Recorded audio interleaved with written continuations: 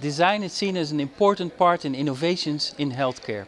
However, a lot of designers don't have enough knowledge from the context in which healthcare is. So we will give you insight in those contexts. We will supply you tools to work in those contexts with design assignments and we will practice those tools within projects that we did with master students in healthcare.